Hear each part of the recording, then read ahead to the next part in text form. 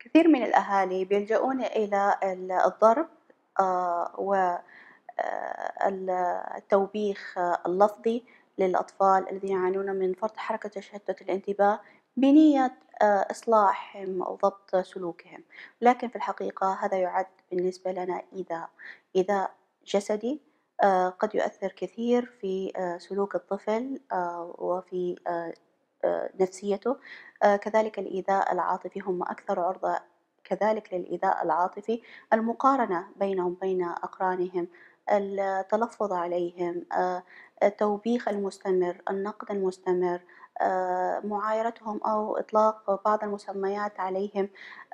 بسبب سلوكهم المزعج. يعد بالنسبة لنا إيذاء لفظي قد يؤثر بشكل سلبي جدًا على الطفل، كذلك أحب أن أشير إلى أن الإيذاء الجنسي في الأطفال ذوي فرط الحركة وتشتت الانتباه يعد أكثر عرضة من الأطفال غيرهم، السبب في ذلك الأطفال يعانون من تشتت انتباه، يعانون من عدم تركيز،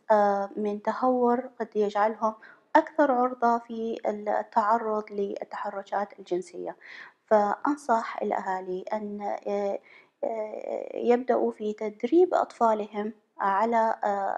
على حماية أنفسهم من التحرشات الجنسية، وأن يكون هناك خط تواصل بين الأهل وبين الطفل لتأكد أن الطفل لا يتعرض لأي نوع من هذه الأنواع المزعجة والتي قد تسبب أعراض نفسية وخيمة في المستقبل.